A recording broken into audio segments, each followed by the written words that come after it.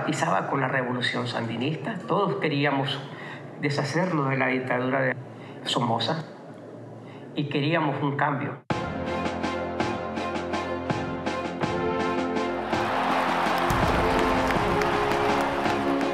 Pensábamos que en realidad era un, paraíso el que venía para todos los nicaragüenses y casi la mayoría de los que andábamos en la contra éramos chavalos que participamos en la lucha contra, contra Somoza pues, en, en ese tiempo.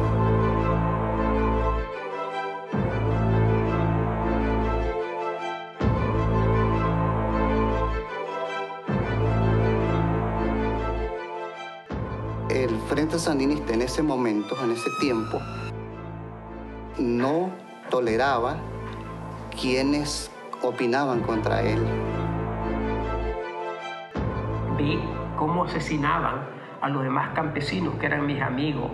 Todo eso, campesinos, no comulgaban con la revolución sandinista, no asistían a las reuniones que eran obligatorias cuando los llamaban para adoctrinarlos y todos ellos fueron asesinados.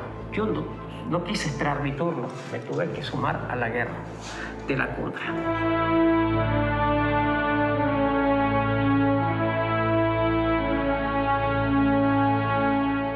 Llegaron a la finca de mi papá, que queda allí cerquita, en Guaslala, y me quisieron matar ahí.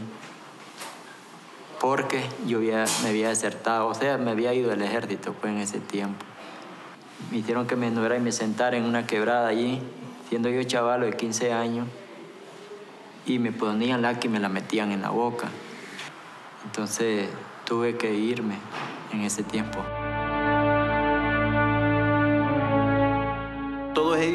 Muchos que yo conocí eran ya nacidos del ejército. No les pareció el, rumbo que iba tomando la famosa revolución. Entonces decidieron apoyar a, a, los campesinos que se fueron integrando, igual que mi persona, a la lucha. Pues.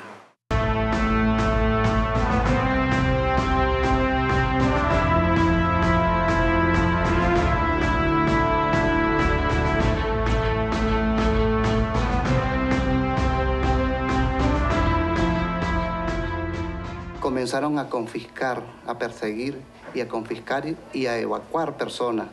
En ver tanta gente que se llevaban, a la fuerza el que se corría, lo tiraban, lo mataban. Y si no lo enchachaban y lo metían en un camión. Eh, entonces no había, no había escapatoria. O se iba con el frente, con el ejército, con el frente sandinista, o buscaba el monte. Yo me integré en 1980, un 24 de junio, a la contra, a los milpa, a los chilotes, ¿verdad? Al movimiento, ¿eh? éramos movimiento armado. Me integré con las razones, pues, porque no me quedaba otro camino, no me quedaba otro destino, ¿verdad? Porque habían asesinado a mi papá, los quitaron todo, lo que teníamos, los dejaron así, a brazos cruzados. Me integré eh, eh, por el año 1982 a la edad de 12 años y formé parte pues, de las fuerzas de tareas y comandos eh, de operaciones militares de la, de la contra que combatía en contra del gobierno sandinista gobernado por Daniel Ortega Saavedra.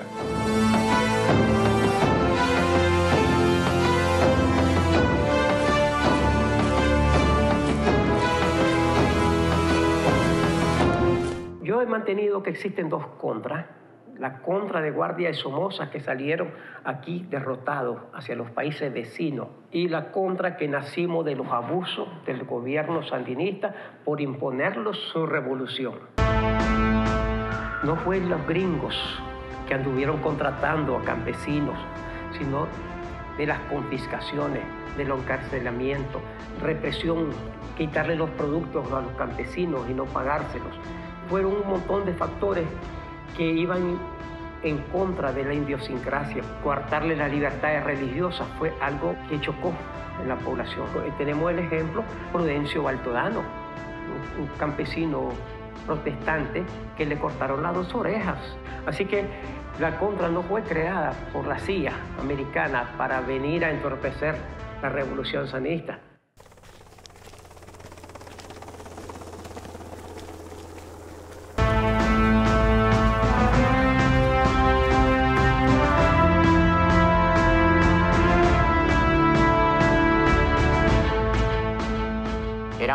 Ejército convencional en 1984. Algunos dicen que éramos soldados de Donald Reagan, o que Donald Reagan los pagaba a nosotros para que ejerciéramos eh, los esfuerzos en Nicaragua. No, no.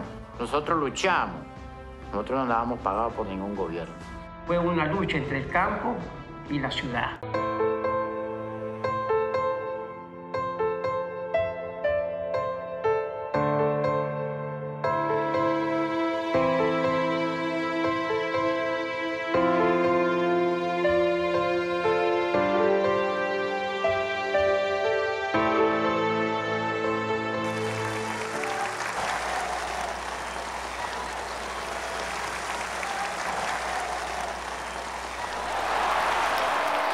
Las elecciones de 1990 que se dieron aquí el 25 de febrero fue el resultado de la lucha armada de la contra. Sin la contra no hubiesen sido posibles esas elecciones. Yo en mi conciencia estoy consciente que nosotros entregamos en bandeja de plata al gobierno de Doña Violetas. Eh, las elecciones las ganó por la lucha que nosotros hicimos, el, esfuerzo que hicimos nosotros, la sangre que derramamos, la muerte de nuestros hermanos que murieron y logramos ese objetivo. El día de hoy estoy ordenando la suspensión definitiva del reclutamiento del servicio militar obligatorio.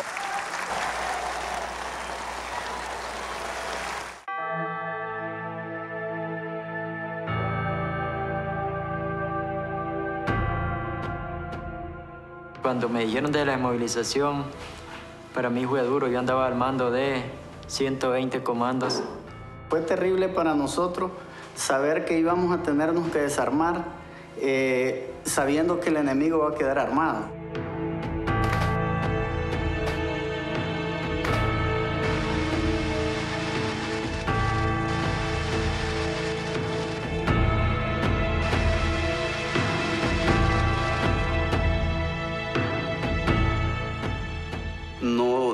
Desde entonces garantía en ningún sentido. Primero porque le estaban dando nada más un par de botas de hule y un pantalón usado.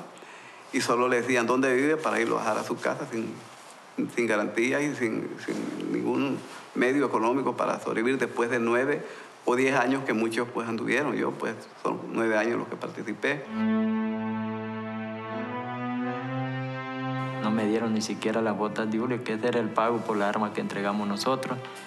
Y bueno, cada quien fue a su casa a pasar una vida muy difícil. Perdimos nuestra juventud sin trabajo, sin qué comer, sin nada, sin ni un córdoba en la bolsa en ese tiempo, esperanzado absolutamente a nada. lo que hubo fue un proceso de pacificación inconclusa, porque realmente eh, ni siquiera propició la reinserción de los excombatientes, se limitó principalmente a eh, la desmovilización y el desarme de este, los excombatientes. A diferencia de los casos de El Salvador o de Guatemala, por ejemplo, que finalizaron con un acuerdo de paz entre las partes contendientes en Nicaragua, ese conflicto finalizó de otra manera, finalizó con los resultados electorales de 1990. Y eso, aunque no parezca relevante, es un punto crítico porque lo que hizo fue deslegitimar eh, a los eh, eh, combatientes, ¿verdad? los colocó en un segundo plano y puso en el primer plano a los actores políticos civiles. Ellos quedaron relegados. He ordenado al general ejército Humberto Ortega Savera continuar en su cargo. El problema grave que pasó fue que siempre quedó el mismo ejército y la misma policía. Un ejército partidario, politizado, una policía partidaria.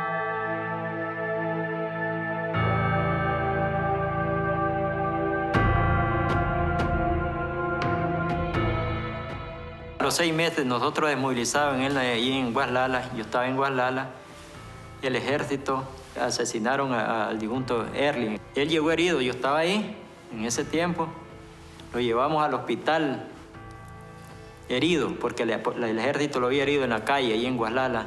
Lo llevamos al hospital. En ese momento estaba la, tal doctora de esta Sonia, Sonia Castro.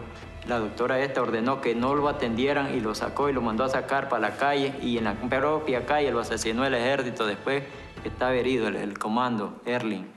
Después que los habían matado cuatro comandos desarmados porque íbamos en protesta en la calle.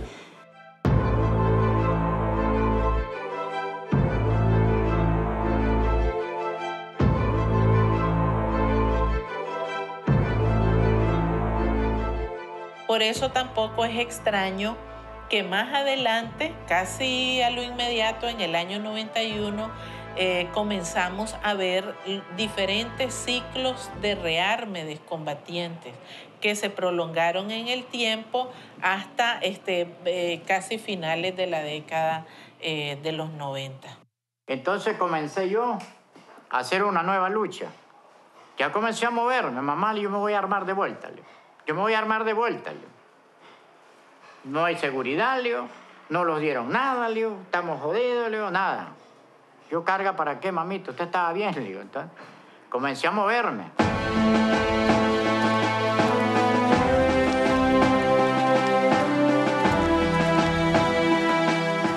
Yo soy, verdad, el comandante Rojito.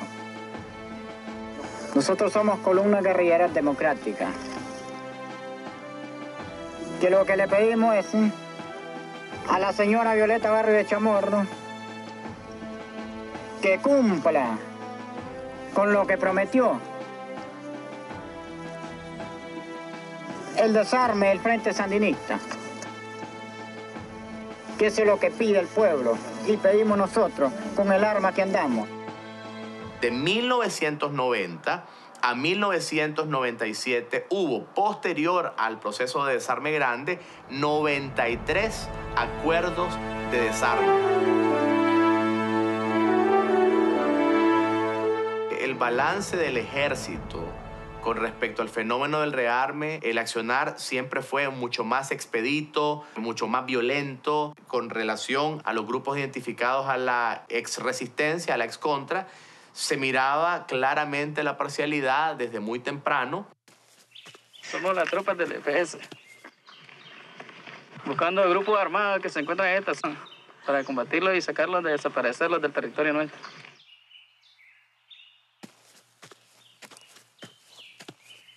Se trató como delincuente a cualquier grupo que por razones políticas vio en las armas una forma de protesta. Entonces el Estado de Nicaragua guiado por el ejército de Nicaragua, rápidamente dijo a la protesta rural cero tolerancia. Se empezó a marcar con em, mayor complicidad del Estado una política de asesinatos extrajudiciales a estos grupos armados. No hubo una política de derechos humanos que pudiera establecer límites al accionar de la policía y el ejército en el campo. Pero realmente eh, el gobierno Doña Violeta no nos cumplió y los gobiernos sucesivos tampoco nos cumplieron.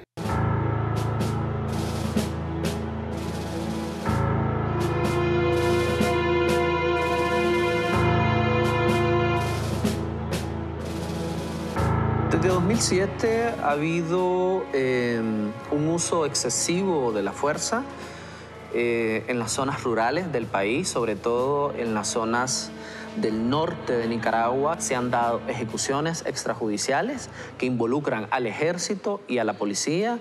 Comenzaron a implementar una estrategia de eh, eliminación de líderes locales en donde no ha habido investigación y en donde casos tanto de excontras ¿verdad? Como productores, eh, como también opositores, han quedado en la impunidad. Nos encontramos con el informe del CENID, donde se identifican 25 casos de líderes opositores que en algún momento se declararon abiertamente en contra del gobierno, que dijeron que se alzaban en armas inclusive y fueron finalmente ejecutados.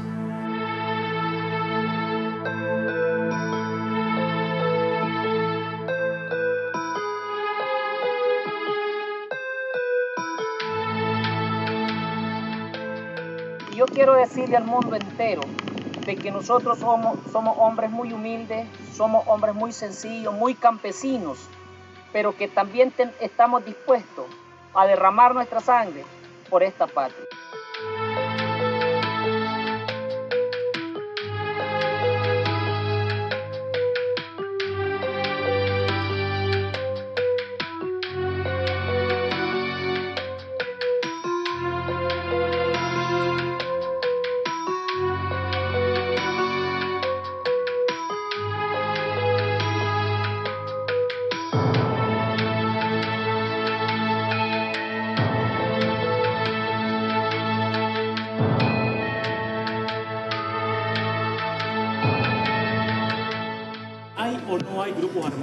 Grupos armados. No hay grupos armados en este país.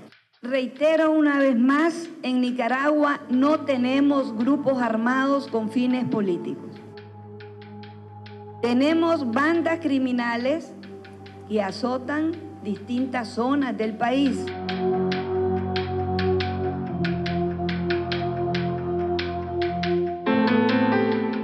Nosotros somos los comandos que, en aquel tiempo luchamos contra el régimen de Daniel Ortega y los, hemos vuelto a alzar, en armas porque ya este gobierno no le hace caso a voto ni a nada de eso, sino que a la bala.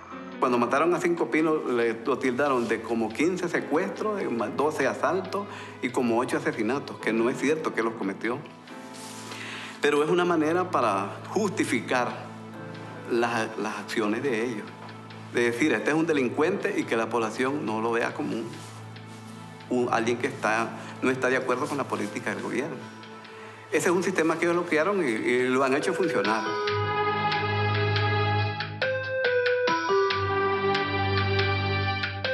Estamos clamando desde aquí de las montañas de la Cruz de Río Grande que se den elecciones libres, que sean justas y transparentes, que sean que nuestro voto sea respetado, que sea verificada acta por acta. Que nosotros como defensores de derechos humanos ya veníamos documentando esa violencia de Estado y veníamos cuestionando, poniendo alerta de que eso se trataba exactamente de una manifestación de crímenes de Estado que se estaban sucediendo en el campo y no eran suficientes alertas para toda nuestra conciencia nacional.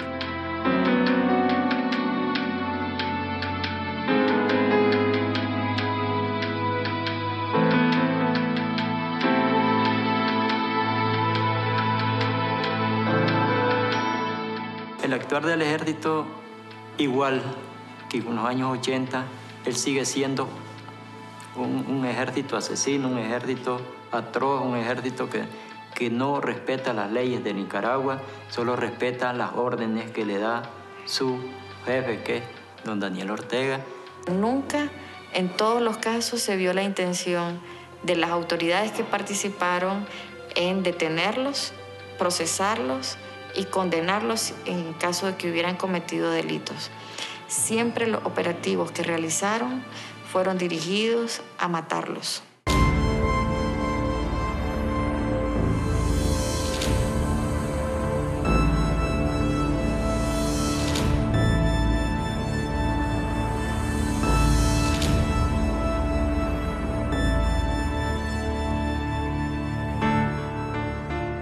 El odio que se habían sembrado es porque Josué Sael, el hijo mío, él le faltaba una cédula, le faltaba la cédula y solo le daban documentos supletorios. Hicieron una huelga y fueron a Cusmapa, un montón de gente a reclamar cédulas porque no tenían todo.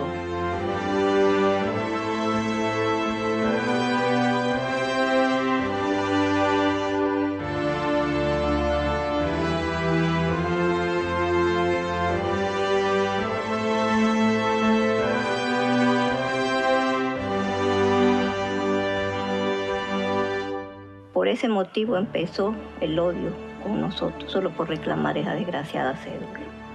Únicamente solo por no este, ceder a los pensamientos de, del gobierno de turno.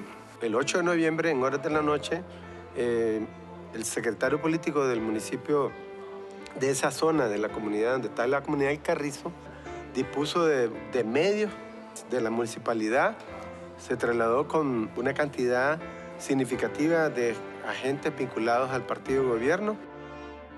Ellos estaban empezando a comer cuando la bulla, la gran bulla que venían.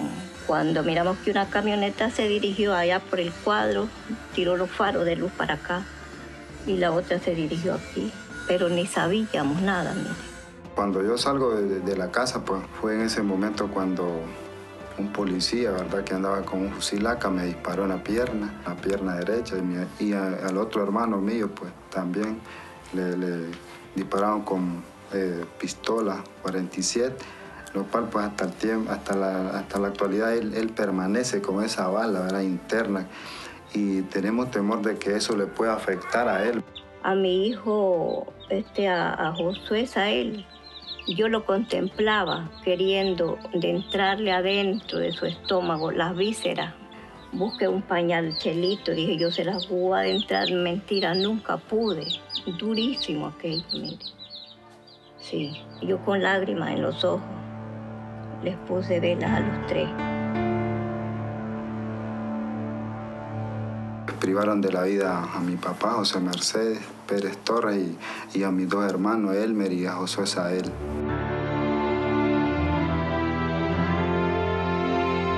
Señor, ¿a dónde está esa paz y reconciliación?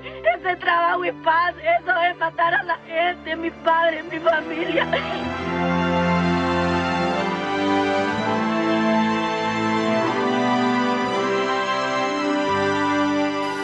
Los protagonistas del asesinato de nuestra familia, eh, tenemos ¿verdad? Este, al subcomisionado Elvin López, lo cual era jefe del municipio de San José de Cusmapa en ese entonces, ¿verdad? Eh, también pues mm, eh, Gersan Herrera, lo cual era secretario político de la alcaldía de San José de Cusmapa en ese entonces, a Eusebio Cruz Montenegro, que era funcionario del Consejo Supremo Electoral, Eh, también, ¿verdad?, dos policías, dos policías voluntarios. En calidad de detenido tenemos a los policías que están siendo investigados, como te explicaba, y este, incluyendo incluso pues, al secretario político también que, que se vio involucrado en los hechos, pero preferimos pues, dar los resultados eh, en Managua, pues están siendo centralizados por la Jefatura Nacional. Vinieron unos policías. ¿Y a dónde están los vestigios? Dice. ¿Cuál vestigio? Le digo yo. Mandé a asear toda esa sangre, le digo, porque ¿por qué no avisó a la autoridad? ¿Cuál autoridad? Le digo. Y la autoridad no es la que anda matando. ¿A quién autoridad le iba a avisar? Los falsos que los habían levantado era que nosotros teníamos armas. Y, nosotros les decíamos que si nosotros hubiéramos tenido armas, armas, hubieran muerto más de alguno de ellos también. El carrizo representa un modo operandi donde tenés a las fuerzas partidarias que se organizan como una estructura criminal, contando con eh, la fuerza policial, el jefe del municipio, que va con ellos a cometer un crimen de Estado, porque esos llegaron organizados, estructurados para matar. O sea, eso fue una masacre, eso fue un asesinato. ¡Justicia por los asesinatos del! ¡Justicia por todos los crímenes que no han sido! ¡Cárcel para los asesinos del Carrizo! ¡Justicia! ¡Justicia! ¡Justicia! ¡Justicia! ¡Justicia!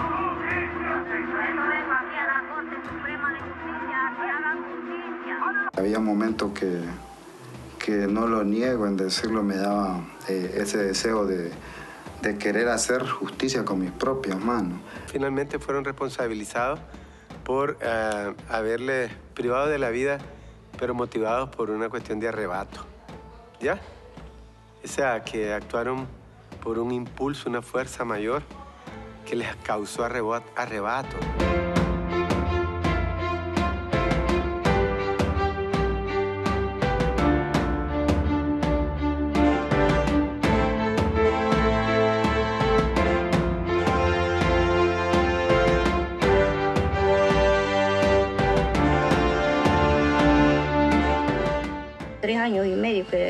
Le de, de cárcel, eso, eso no es para mi marido y mis dos hijos, que yo nunca los volví a ver y nunca, y nunca los espero en esta vida que van a venir. Y ellos luego ya andaban ahí con su familia. No me satisface, ¿verdad?, la, la, la sentencia que le dictaron las autoridades eh, a los asesinos, ¿verdad? Privando de la vida a tres personas y dejando a tantos niños en la orfandad. Que tan siquiera pues no les dieron sentencia, pero los hubieran tirado para otros lados, a donde yo no los mire. Porque soy mujer, soy vieja, soy lo que soy, pero, pero siento, tengo sentimiento también.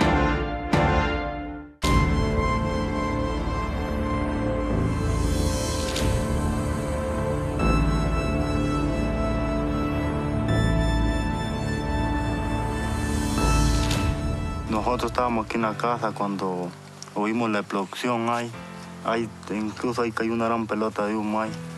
Entonces todos los fuimos nerviosos allí. Entonces mi abuelo agarró a, ver pues la gente que estaba allí. Y bueno, yo con mi tío pues lo pegamos detrás de él. A ver pues, por curiosidad los fuimos. Durante varios días un grupo de alzados en armas estuvo en un pequeño cerro dentro de la propiedad y por varios días estuvieron llegando dos personas en moto.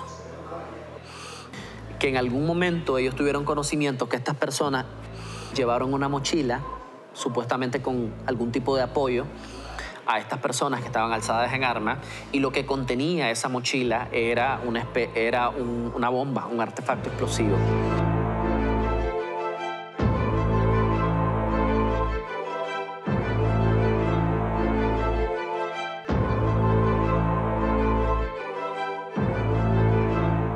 Habían dos personas allí, este, ahumados, todos horribles allí, desvestidos, mejor dicho.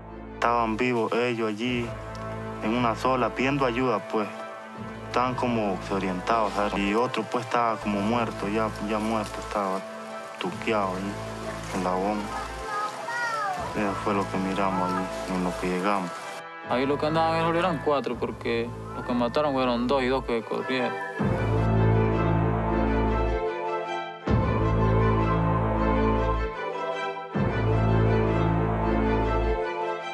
Eso pues que estábamos allí nosotros, que ya hemos acabado de llegar, fue cuando el ejército comenzó a disparar, a volar tiro ahí a la loca y, y por poco los matan. Pues nosotros, yo pues me corrí, el tío mío ya lo habían tirado, ya se corrió tirado. Y mi abuelo también se hizo que iba corriéndose, pero... Y bueno, pues lo agarraron.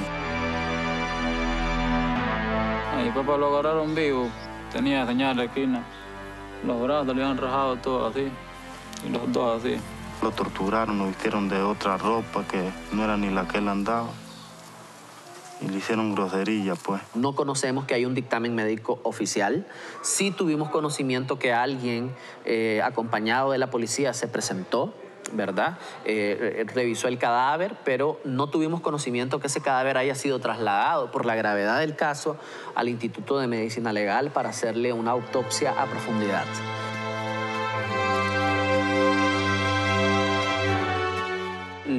Increíble de todo esto es que cuando una comunidad completa, llamada El Portal, donde viven centenares de personas, vieron el operativo militar, la policía, la policía negó en su versión oficial la participación del ejército. Estamos refiriendo a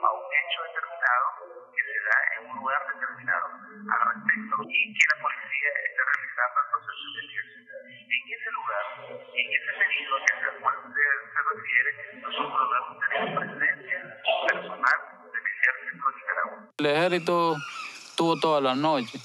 Entonces ellos, pues no los vieron, entonces se fueron muy oscuros. Ya cuando quiso amanecer, ya era la policía la que estaba aquí.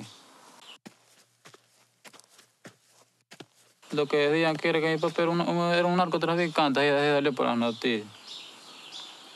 Sí, que trabajaba, que era narco, pues, y, y supuestamente aparecía allí con un, gran puño de marihuana y, y una escopeta y vestido de, de pinto ya muerto. Y, y todo el mundo sabe cuando que, que lo que era mi papá. Miguel era inocente, era un trabajador que sembraba maíz y frijoles, pues de eso pasábamos, pues. Y decirle al gobierno que ya no siga mandando al ejército a matar a los campesinos, porque por ellos comen. Y, y si, y si siguen matando, pues ya no queremos más que dolor para nosotros. Mi mamá mandó a tomar agua, pero eso no es lo que impone, no quedó en nada. No hubo ningún proceso investigativo, este, no conocimos de ningún tipo de resultado de la investigación. En esos casos, la decisión institucional es no investigar.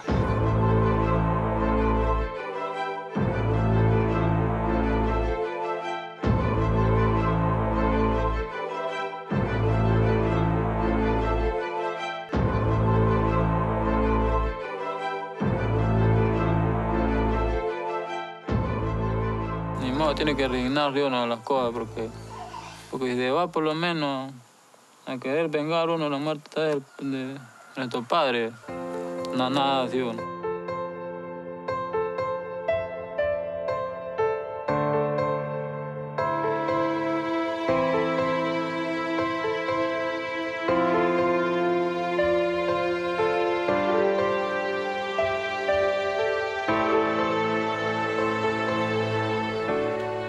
Marido mío y el cuñado mío, conocido por Colocho, se habían ido a la resistencia. Ellos fueron desmovilizados. Cuando ellos se dan cuenta que fueron de la resistencia, de los 80, comenzó la, el ejército a darle persecución a él.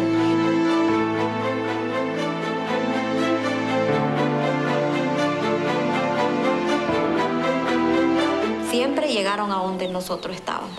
¿Qué dijo él? Mira, amor, es difícil. Yo no me puedo capear, no me dejan trabajar. Yo es que me vaya. Yo es que me vaya mejor.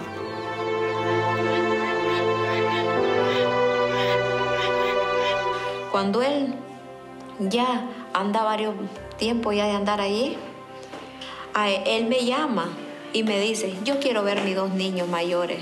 Entonces me contesta la niña, mamá, ¿quién está hablando? Tu papá, le digo yo, quiere verse con ustedes. Ellos desesperados y dijeron, mándenlos, mamita, vamos a ir a ver a mi papá.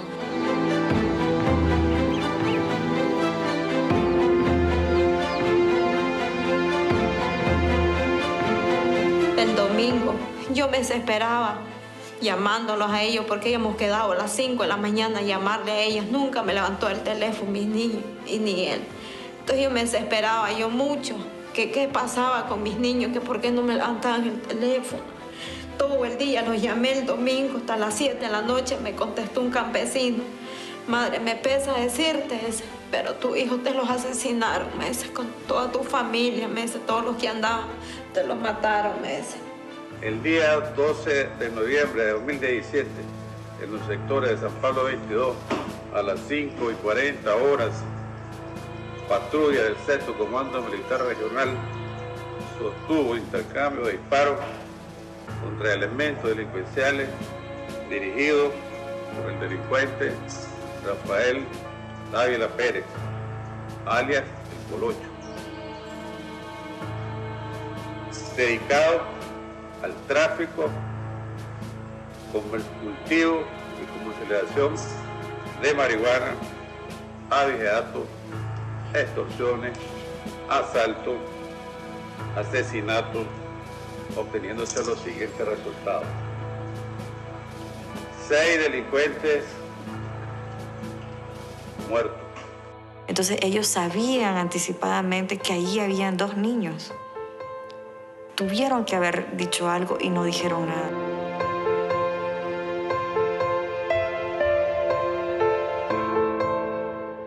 Caso del niño de 12 años, no se le puede sindicar como delincuente, ni decir que se privó de la vida a un delincuente o que se le dio de baja a un delincuente. El Código de la Niñez y la Adolescencia señala que los niños de 13 años hacia abajo son inimputables. ¿Qué significa esto? Que no se le puede acusar por ningún delito.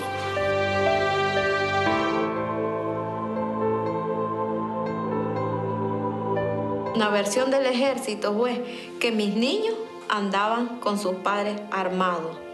Pero no, ¿por qué esa costumbre tienen ellos matan al campesino, lo visten de ropa militar, les ponen unas bolsas de marihuana y ya dicen que andaban armados en que no anden. Les ponen ropa militar en que no son militar. Y ya que ya andan en bolsas de marihuana a mis niños y que les pusieron bolsas de marihuana. Eso es una mentira. El hecho de que aduzcan que andaban armados y que son delincuentes en la lógica de ese discurso oficial, según ellos les daba derecho a asesinarlos. Los delincuentes son ellos, porque ellos matan, violan, roban, hacen todo. Y para ellos, lo que ellos hacen, todo está bueno. Allí nada está pasando. Se encontraron productos nitrados, pólvora en los dorsales, manos de los fallecidos. Resultados del dictamen médico forense. Examinados seis cuerpos. Causa de muerte, lesiones por arma de fuego.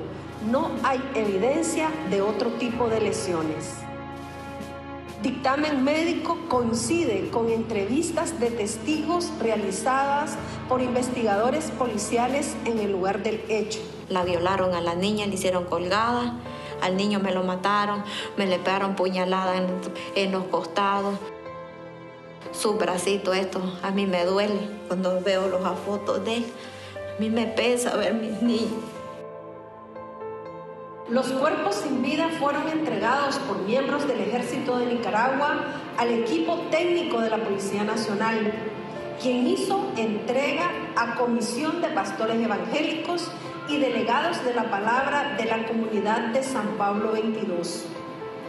La comisión procedió a sepultarlos ante la ausencia de familiares que los reclamaran y el avanzado estado de descomposición de los cuerpos.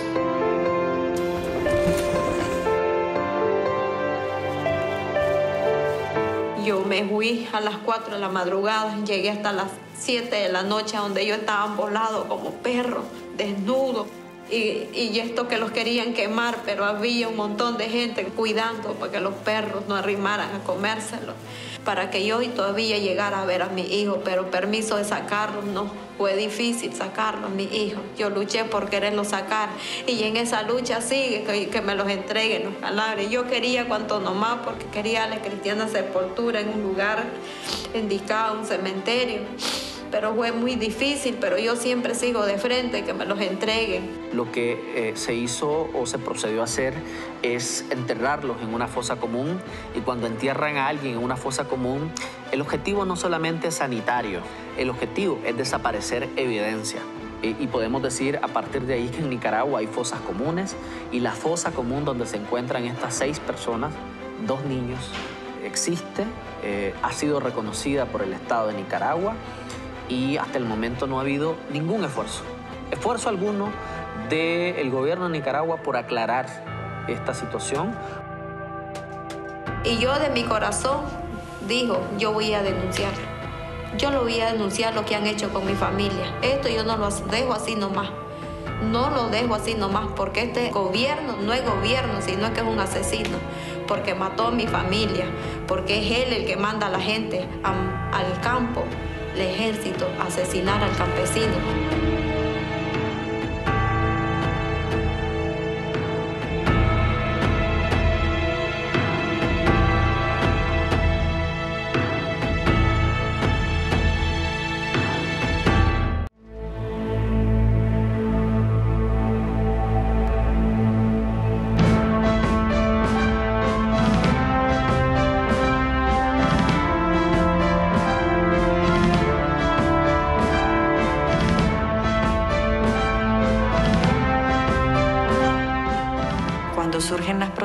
Protestas el 18 de abril y empieza la represión del gobierno utilizando no solamente las fuerzas policiales, sino paraestatales para reprimir, el 20 de abril los campesinos se están sumando a las protestas.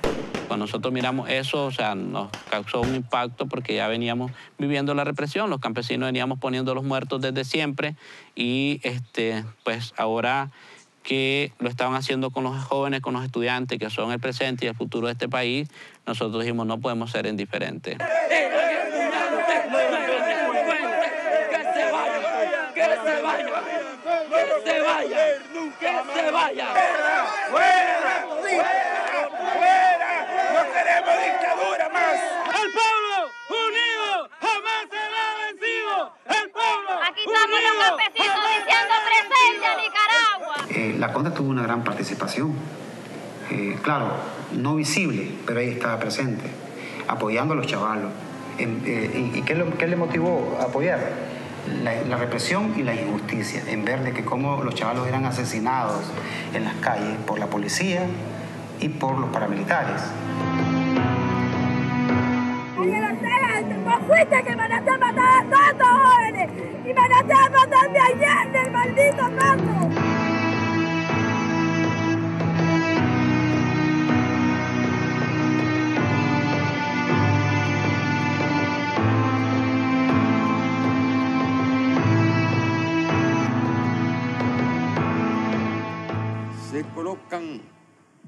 Tranques irracionales a lo largo de carretera, donde los que están sufriendo son los campesinos. Los campesinos que no pueden sacar sus cosechas para llevarlas al mercado.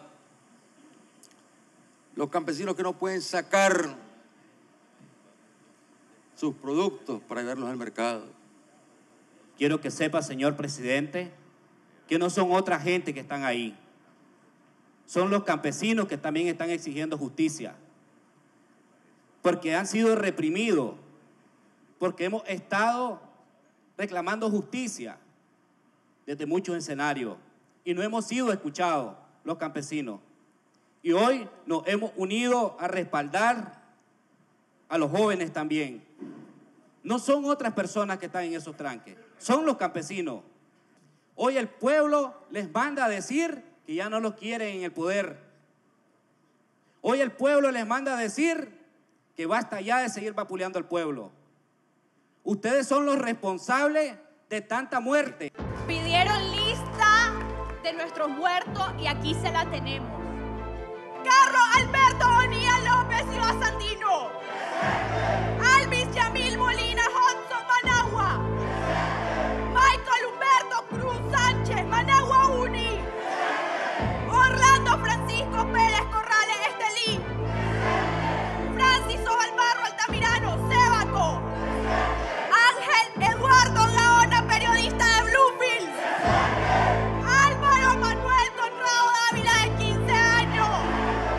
No lo habíamos sentido porque no nos había tocado las puertas en las ciudades, pues. Pero a los campesinos los vienen matando desde hace tiempo. La intención del régimen era callar al movimiento campesino, llevar sus principales líderes a la cárcel y el resto con la represión tenían que irse al exilio. Me tocó la cárcel, desgraciadamente, fui torturado por el régimen.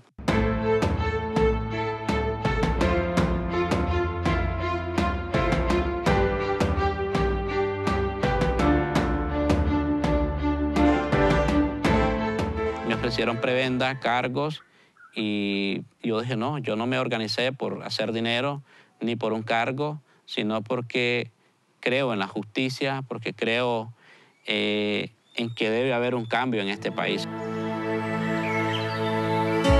Yo tengo dignidad y no voy a vender mi dignidad porque no tiene precio. Como yo no acepté, entonces me dijeron que a mi niña de tres añitos le irían a cortar dedo por dedo de su mano, pieza por pieza, y que me iban a llevar un video eh, y que si yo no aceptaba, entonces que iba a continuar con el resto de mi familia.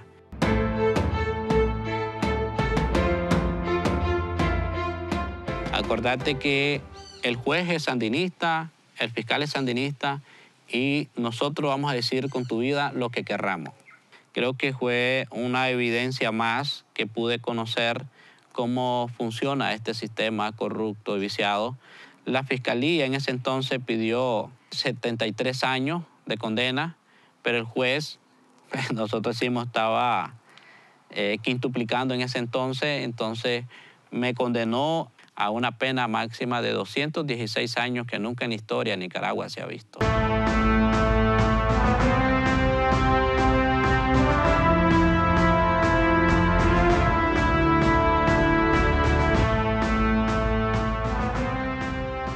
Posteriormente, Ortega, a través de la presión internacional y la presión eh, interna que hubo en este país, eh, se vio obligado para liberarnos bajo de una supuesta amnistía que para nosotros es una acto amnistía.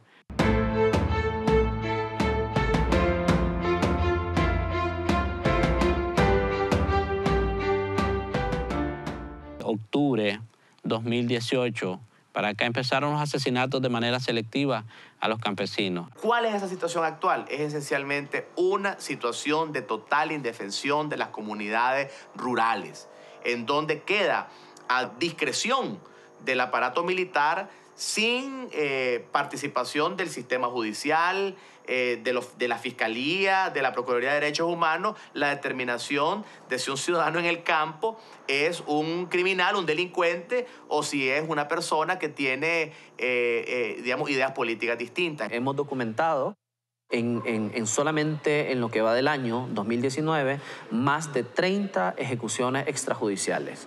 Eh, más de la mitad de ellas no cabe duda que hay una vinculación política, es decir, son opositores que han sido ejecutados por pensar diferente. Es tanto el odio que han manifestado hacia los campesinos por el simple hecho de mantenernos en resistencia, por defender nuestras tierras, por defender nuestra familia, los recursos naturales. Estamos con una dictadura monstruosa que no tiene límite, porque no escuchamos, no, no aprendimos a escuchar el grito que venía desde la montaña.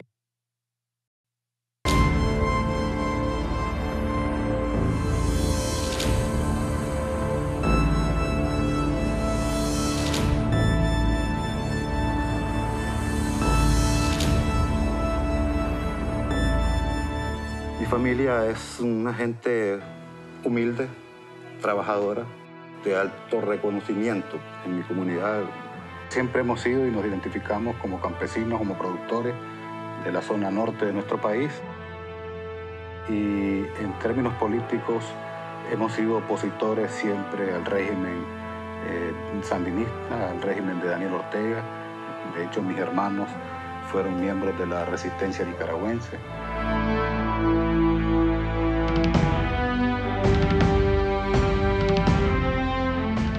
De la edad de 13 años me tocó vivir esta vida y que esa guerra que aún para mí no ha terminado. Les tocó irse a la guerra eh, porque de lo contrario pues representaba este, el, el- el servicio militar obligatorio del, del frente, del frente Sandinista. En algunos de nosotros es un cierto liderazgo que son es lo que tal vez nos ha llevado a, a esta persecución. Siempre hemos sufrido persecución y a partir del 2007 que Daniel llega al poder, empieza eh, para, el, campesinado ¿verdad? de nuestra zona eh, algún tipo de represión. En esa época un poco más silenciosa, probablemente más sutil, que a raíz de las protestas de, del 2018 eh, ha habido un, un recru- recrudecimiento, diría yo, de la, de la, de los, de la persecución y de las muertes.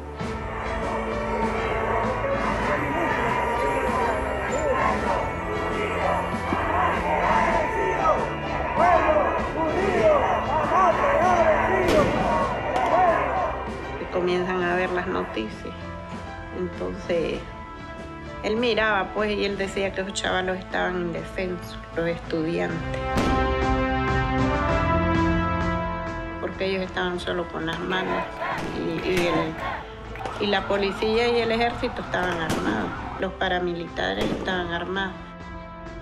Eso como que a él no le gustó. Él se fue pues, se fue a, a los tranques. Esta lucha es de todos, hacemos el llamado a todos los productores del norte de Nicaragua a que nos aboquemos a apoyar a nuestra juventud que está vilmente siendo asesinada por el gobierno en curso en este país. Oliver, él estaba trabajando en su finquita. Al mirar que sus hermanos estaban integrados en el tranque, ya se vino un día y me dice, mamá, me dice, me voy a ir a, ir apoyar a esto. No vayas, hijito. Le digo, ahí estate mejor. Estate aquí con nosotros. No, me dice, que donde hay hombres no mueren hombres. Antes de asesinar a mi hermano, un- una nota de prensa de la policía que, que lo acusaban de, de, de muchas cosas pues, que no son ciertas.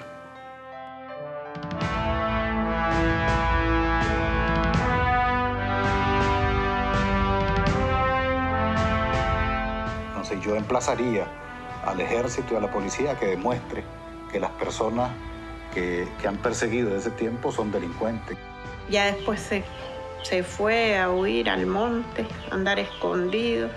Lo que debemos de ver esto es que es una constante en la actuación de la Policía Nacional de identificar a una persona como delincuente y como responsable de unos hechos sin que siquiera haya sido puesto a la orden de los tribunales.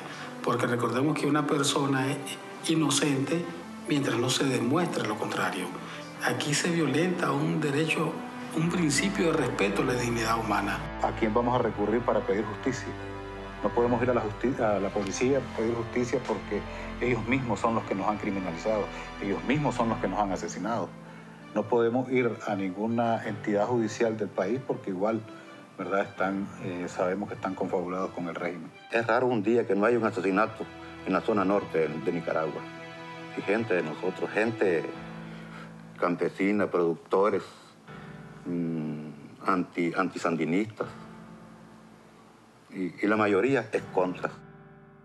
Prácticamente hemos sido perseguidos a muerte, ¿verdad? Ya tenemos tres miembros de nuestra familia que recientemente han, han sido asesinados, ¿verdad? Por, por este gobierno.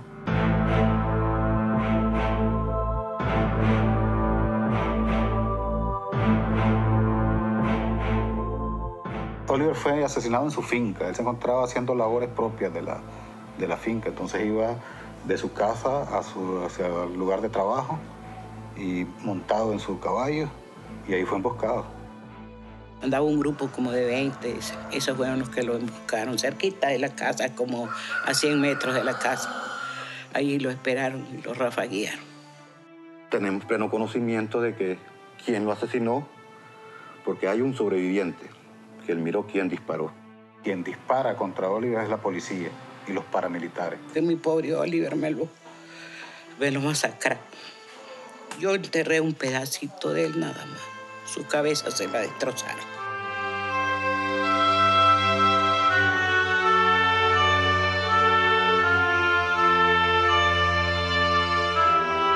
Cuando ya matan al hermano, él decide irse. Decide llevarse los chavalos y ya irse para Honduras. Me voy, mamá, me dice, porque me llevo todos estos chavalos. Estos chavalos no tienen ninguna experiencia. Me los voy a llevar, dice, para capiarlos, porque si los dejo aquí me los matan. dice. Eran los de él y los sobrinos. Ellos estaban refugiados ya en, Honduras, tenían ese estatus en, en Honduras.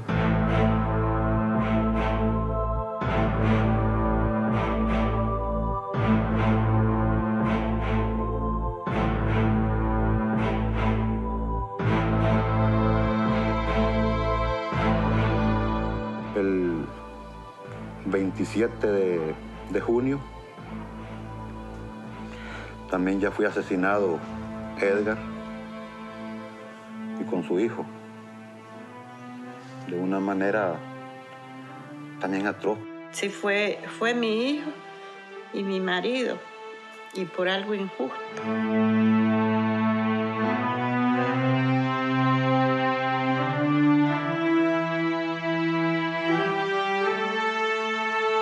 Para el entierro de él, si vinieron dos mil personas, fue poquito. Porque ese hombre sí tenía gente. No solo yo lo lloraba, lo lloraba el pueblo.